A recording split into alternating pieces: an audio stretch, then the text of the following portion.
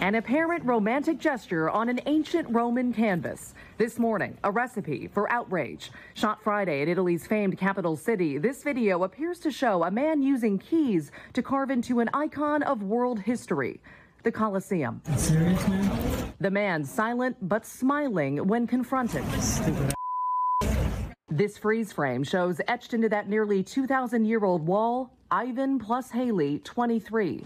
Behind the camera, 38 year old California native Ryan Lutz, who had just toured the Coliseum. You see this guy carving into the wall of the Coliseum. What do you think?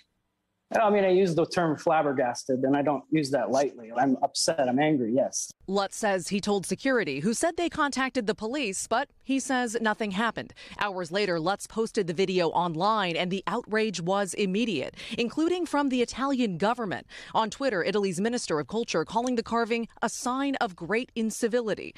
Past incidents of similar vandalism have produced fines and prison time. Proof bad tourist behavior is nothing new. Earlier this year, guides in Nepal pleaded with hikers to stop leaving tons of garbage on Mount Everest campsites. If you don't want to pick up your trash, don't come to the mountain.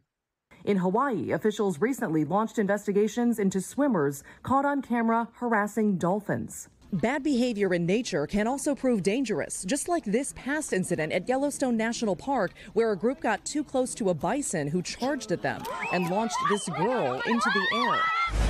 And in Venice, authorities fined two tourists for water skiing on the city's Grand Canal. The city's mayor calling them imbeciles.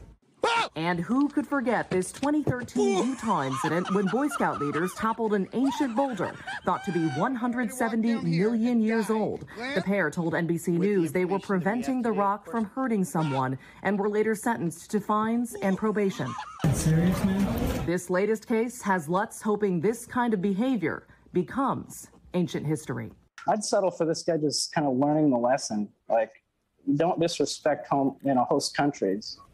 It's good advice. So, despite the video evidence, authorities in Italy have yet to ID the man involved. There are also no specifics on what kind of penalty he might face. But it's worth noting in 2014, a Russian man who carved his initial into the Colosseum was given a, mo- a four month suspended prison sentence and then fined 20,000 euros, roughly the equivalent of $22,000. Wow, wow that's so. an eye opener, that story. And by the way, Miss Vespa, it's nice to have you here in person. So nice this is the first you. time we have met Maggie Vespa because you're usually out in the middle of somewhere. Yeah, yeah out in some remote storm or right. yeah, exactly. I sat down next to you this morning and I said hi, and then I go, wait, have we met in person? Well, we're it's happy, trippy, to, yeah. we're happy to have you in the studio. Thank it's good to see you, Maggie. Thank you so You're much. You're doing great so yeah. far. Appreciate it. Thrilled to be here.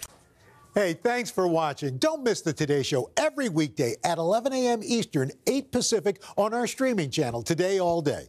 To watch, head to today.com slash all day or click the link right here.